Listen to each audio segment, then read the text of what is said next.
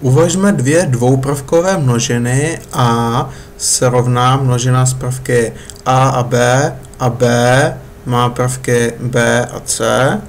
Kolik prvků má množina PA průnik PB? Zde pro libovolnou množinu x symbolem px označujeme množinu všech podmnožin množiny x. Takže množina všech podmnožin. Většinou se říká potenční množina a další značení, který se dá najít, je místo PA, eh, že se to píše jako 2 na A, protože uh, v kombinatorice se to někde objevuje, protože vlastně uh, to, který prvky v té množině jsou, když mám tu množinu A, která má prvky A a B, si vlastně můžete zapsat jako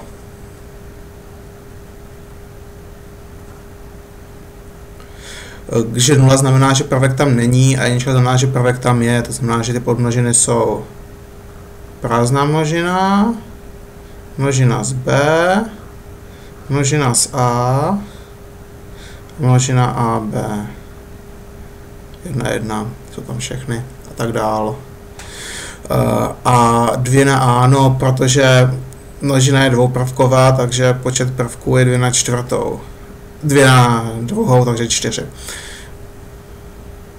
No.